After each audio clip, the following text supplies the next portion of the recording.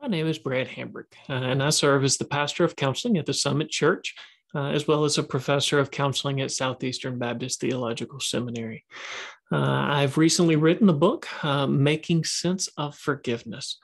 Uh, and I think one thing that we should all be able to admit uh, is that forgiveness is hard. You know, one thing about forgiveness is it never comes at a good time. when we need to forgive, that means that we have just been hurt uh, we're experiencing pain. Uh, when we need to be forgiven, uh, we're experiencing guilt and shame.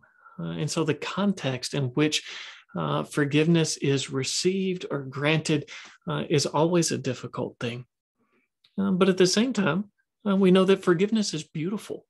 it's central to the Christian faith. It's the essence of the gospel.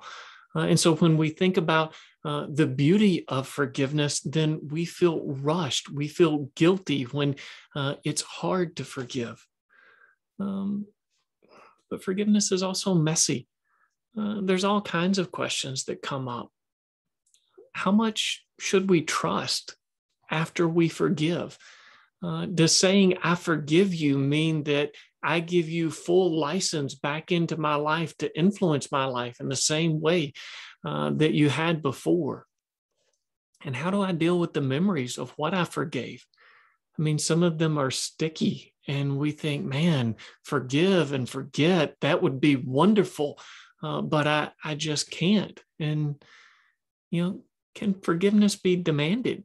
I know in scripture forgiveness is commanded and god says that i i should forgive. But if i've if someone um, has offended and they're saying i have to forgive them can do they get to demand that? Just because god commands it do they get to be the timekeeper for when it happens? Um, and then you know, there's this weird dynamic that oftentimes embracing forgiveness from others uh, can be harder than embracing forgiveness from God.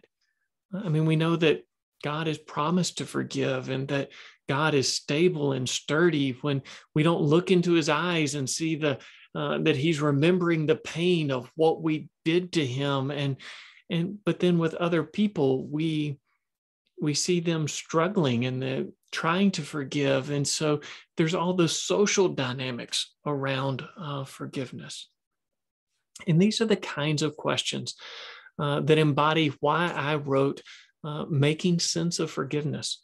Uh, what I hope you'll find in this book uh, is a patient guide through the terrain of forgiveness, uh, one that honors the real challenges that exist, uh, but one that also points you to the, the beauty of the gospel and the glory of Christ. I pray that in this book, uh, what you find is something that helps you experience more of the freedom uh, that God intended to give uh, through the gift of forgiveness.